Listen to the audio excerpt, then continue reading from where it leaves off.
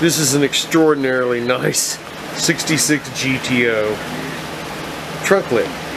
These are just tough to find. Here's the 66 trunk lid up close. Very nice. We bead blasted everything, left that emblem on. You can see the paint still there. This thing is super duper nice, my friends. You won't find anything this nice on the market. Rust free, no holes.